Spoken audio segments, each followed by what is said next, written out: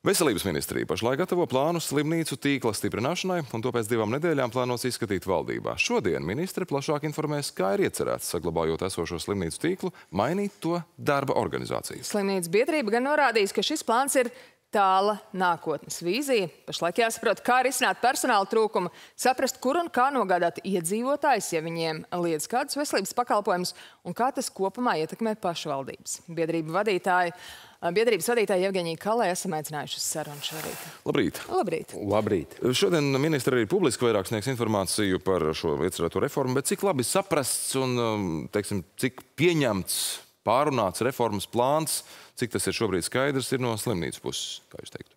Nu, teiksim tā, ka šis te plāns ir uh, apmēram uz 30 lapusēm ko ministrija ir izstrādājusi, un, un, un, un Latvijas slimnīcas vadītāja iebildumi ir apmēram uz 20 lapusēm. Tā kā nu, šeit ir tā saprašanas līmenis. Tā kā faktiski tas, kas notiek, vai tas, kas notiks, tas ir nākotnes vīzija, kā jau jūs teicāt, jo uh, mēs paredzam to, ka nākošajā gadā kaut kas būtiski nevajadzētu mainīties, jo tāpēc, ka tas pakalpojuma apjoms, ko mēs patreiz sniedzam Latvijas iedzīvotājiem, ja viņš tiek būtiski izmainīts, tad ir jāplāno daudz, daudz precīzāk, kā tas viss notiks. Patreizējā brīdī, diemžēl, tajā plānā mēs to neredzam. Topot šim plānam, vai un cik lielā mērā bija iesaistīts arī slimnīcas un uh, kādi dati tika izmantoti? Nu, šeit ir galvenais jautājums, jā, tas datu izmantošana un datu analīze. Diemžēl tā datu izmantošana un analīze ir tas vājākais punkts, kas šī e, plānā parādās, jo tie dati faktiski tika izmantoti, bet neanalizēti. Ir tikai secinājumi vai, vai aktivitātes, ka jāsamazina kāds profils, jāsamazina pakalpojuma apjoms noteiktos reģionos. Kā jūs to domājat? Tika izmantoti, bet neanalizēti? Nu, ir pateikts, ka eh, dzemdību skaits ir mazāks par 500. Un tāpēc mēs pārtraucam šo pakalpojumu sniegšanu eh, reģionu iedzīvotājiem. Piemēram, nu, Dobelē, eh, Preļos un, un, un, un citās pilsētās pretīm neliekot to, ko mēs darīsim ar šīm te e, grūtniecēm, ar šīm te dzemdētājām, kuras slimnīcas var paņemt to visu. Nu, bet kā, tā, tā nav plāna būtība. Kaut Jā, nu, ko izmainām un liekam pretī, kā tas tiks risināts. Es saprotu, ka vienkārši tiek kaut kas mainīts, bet kas tad, ko tas paredz, tad tas nav izskaidrots šajās trīs nu, redziet, Jūs jau teicāt, kad jums būs uh, ar veselības ministriju diskusija, nu šo jautājumu jūs tieši varēsiet uzdot, tāpēc, ka mēs šī plānā neredzam to nākošo etapu, kas notiks ar tiem pacientiem. Un, un tas ir tas būtiskākais. Mēs esam vairākas reizes tikušies arī ar neatliekamo palīdzības dienestu, ar Cipuls kundzi, kurai būs šie pacienti kaut kur jātransportē. Viņas kapacitāte patreizējā brīdī neļauj to darīt, jo tāpēc, kad uh, ir personāla trūkums un, un, un arī tie ir papildus milzīgi izdevumi. Jā, jūs pieminējāt zemniecību. Nu, jāatzīst gan taisnības labad, ka Latvijā, diemžēl, ir augsti rādītāji bērnu mācības mirstības statistikas ziņā. Tā ir arī tāda būtiska problēma mūsu valstī. Jā, nu šeit jūs jau gan īsti atbildējāt, tāpēc, ka analizējot šo statistiku un šos gadījumus, mēs varam atlasīt smagos gadījumus, kurus ir jādzemdē obligāti augsta līmeņa slimnīcās. Diemžēl tās analīzes tur nav. Vai plānā ir kāds termiņš, vai par to ir vispār runa? Jūs teicāt, ka tā varētu būt nākotnes vīzija, bet vai pat ministrija runā par to, kad ir apņēmusies ieviest šo plānu, kurš nu, gan paplūdis pašlaik? Nu, tas pirmais termiņš ir nākošā gada aprīlis, mājas, jā, bet eh, tas galvenais varbūt, kas galīgi nav šeit, varbūt neatiecas arī uz plānu, mēs nezinām, kā mēs dzīvosim vēl šogad. Mm, tas ir saistīts ar finansējumu. Cik jā, ar finansējumu. Jā, protams, jo tāpēc, ka uh, patreizējā finansējuma apjoms, kāds ir tagad, ir zemākais visā Eiropas Savienībā uz vienu iedzīvotāju. Un par šiem plāniem absolūti netiek domāts. Nav domāts, ko mēs darīsim ar tiem pacientiem, kuriem jau tagad nav valsts atmaksāta finansējuma. Ir tikai maksas pakalpojumi. Jā, par šā gada finansējumu papildus līdzekļi tika atrasti un, un iezīmēti, un šobrīd arī tiek dalīti, kā mēs noprotam. Tā bija tā summa, ko pieprasīja nozare, lai tā teikt apdzēstu ugunsgrēku. Ugunsgrēks ir apdzēsts. Nē, patreizējā brīdī noteikti nav, un šī aspektā ir ministru kabineta vai veselības ministrijas plāns, kurā mums paredz šos līdzekļus nopelnīt. Mums būs iespēja nopelnīt, apkalpojot vairāk pacientus. Piemēram, nu, mums ir plānots, ka uh, šogad līdz gada beigām būs 20 un vairāk pacienti, kuri apsaldēsies ar smagiem apsaldējumiem. Nu, Tātad uh, ir plānots, ka būs barga ziema, būs vairāk apsaldējumu. Mums ir plānots, ka mums būs vairāk insulta slimnieku. Tātad ir uh, ieplānots, ka mūsu Latvijas iedzīvotājiem būs apmēram pa 250 vairāk insulta slimnieku līdz gada beigām. Un slimnīcām būs iespēja par zemo tarifu, kas rada viņām zaudējumus, nopelnīt papildus līdzekļus. Jo viena pacienta ārstēšana pēc mūsu kopējiem aprēķiniem ar veselības ministriju eh, rada slimnīcām zaudējumus aptuveni. Starpības starp valsts atmaksāto un faktisko izmaksu ir aptuveni 900 eiro. Man liekas, ka šis uh, prasa mazliet vairāk paskaidrojumu. Mēs uh, līdz galam īsti nesaprotam.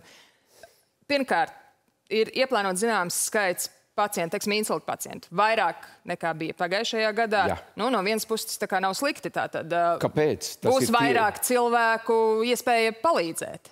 Bet insults ir tāda slimība, ko, protams, kur... būtu daudz labāk novērst nekā ārstēt Jā, pēc tam. Kāpēc mums nav nekāda pamatojuma, ka šādu slimnieku Latvijas slimnīcās būs par 250 vairāk otrajā pusgadā? Es domāju par citu aspektu. Jūs vienkārši šo naudu, kas ir iezīmēta kā papildu līdzekļi, lai šo ugunsgrēku apdzēstu un saņemtu nepieciešamajiem izmeklējumiem um, trūkstošos līdzekļus, jūs viņu fiziski nesaņemat, ja Nē. jūs vairāk neapkalpojat Nē. pacientus. Tā? Pēc šī te, e, dokumenta dokumenta mēs viņu, mums būs iespēja slimnīcām nopelnīt. Bet slimnīcām katrs pacients papildus rada zaudējumus aptuveni 900 eiro. Tur matemātiskā loģika saglabājas kaut kāda nu, grūti viņu tur saskatīt. Labi, vēl runājot arī par šīs dienas aktualitāti, par to, ka ministrija ziņos par uh, slimnīcas tīkla iecerēto reformu, vai šajā dokumentā, ko jūs saņēmāt, vai tur ir finanšu aprēķina, un, teiksim, ja tas ir plānots no nākamā gada aprīļa, tad kā tas finansiāli izskatās? Finanšu aprēķini ir pārsvarā par, par nodaļām, piemēram, par to, kurās uh, slimnīcās tiek samazināts pakalpojums. Piemēram, pakalpojums tiek samazināts dzemdību nodaļās, tas ir mīnus pusmiljons, bet nav finanšu aprēķina, kur šos pacientus novirzīs un kurām slimnīcām būs šis te pluss Nu, publiski paustā informācija, piemēram, nu, par tām pašām dzemdībām, ir, ka uh, tad vairāk būs Jēlgavas uh, slimnīcā un, un, un uh, vēl kur tas ir plānots. Jā, Tam nav finanšu aprēķina. Tā, nē, tur nav finanšu aprēķina, un tā, tāpat laikā ar Jēlgavas slimnīcu pat nav runāts par to, vai viņi būs spējīgi pieņemt 300, 400 dzemdības vairāk, jo tas prasa papildu personālu, tas prasa papildu finansējumu par šo aspektu šī ziņojumā nav ne vārda. Par pašvaldībām kaut ko, jo man šķiet, esat arī minējis, tas saistībā, protams, ar pašu transportēšanu, kā jūs minējāt arī, ka Cipuls kundze nezinātu, ko darīt ar šiem pacientiem, kas nonāk NMPD ielielais attiecīgi. Cik daudz ir uh, pašvaldībām uh, bijusi piesaiste, vai jūs varbūt esat par to runājuši, par to nav domāts no veselības ministrijas puses reformas kontekstā, kā pašvaldības iesaistās šajā? No, no, tā kā jūs teicāt, no ministrijas puses pašvaldības nav iesaistījušies. No slimnīcas biedrības puses mēs esam iesaistījuši pašvaldības savienību Savienību. Šī diskusijā nosūtīja viņiem dokumentus, kurā viņi arī iz, izdara nu, ļoti tādus negatīvus secinājumus. Viņi ir pārsteigti par to, kas tur parādās vēl. Aizvakar mēs runājām ar pašvaldības savienības pārstāvjiem, ka mēs tomēr vēlamies kopā ar pašvaldībām apspriest šo dokumentu, jo dokumentā nav absolūti neviena vārda par pašvaldību budžeta izvērtējumu par to ietekmi uz pašvaldību budžetu? Nu, ko šis noteikti uzdod vēl daudz vairāk jautājumu nekā sniedz atbilžu. Nu, kaut kādas atbildes gan jau šodien arī plānotajā preses konferencē būs, bet tas noteikti būs ļoti plašs temats, par ko turpināt analizēt un runāt. Un runāt. Pa, sarunas noslēgumā pavisam īsi, vai slimnīcas ir saņēmušas valdības solītās kompensācijas par energoresursu sadārdzinājumu? Nē, nu tas ir tas jautājums, ko mēs sākumā jau runājām, ka, kas notiks par to, uh, otro pusgadu, ko mēs darīsim ar saviem pacientiem. Un viens no jautājumiem nav. ir šī kompensācija, ir plānota, kuru mēs neesam saņēmuši. Mēs neesam saņēmuši par Covid pacientu virsstundu samaksu, mēs neesam saņēmuši e, papildus e, darba algas solīto pielikumu mediķiem kas bija plānots 120 eiro katram ārstam, katrai māsai un katram māsu palīgam. Diemžēl šī sadaļa ir pilnībā no valdības puses aizmirsta. Un tas nav nekas jauns, jo valdība jau nepastāv tikai šī te, uh, sasaukuma laikā. Valdības vadītājs ir tieši tas pats, kas bija iepriekšējos četrus gadus. Tā kā tie solījumi, ko viņš mums publiski ir solījis, ka būs šī kompensācija, lai slimnīca neuztraucās, nu, pēc tā kā uh, valdības vadītājs paziņoja, draugi nav labi, slimnīca metās palīgā, visu izdarīja, bet solījums netika turēts no valdības puses. Ko daudz jautājumu, ko mēs arī turpināsim uzdot politiķiem. Simptomātiski pabeidzam, ar, pabeidzam sarunu, kurā radies ir vairāk jautājumu nekā sākotnēji bija iecerēts pārunāt. Bet nu, tā laikam ir šī tēmas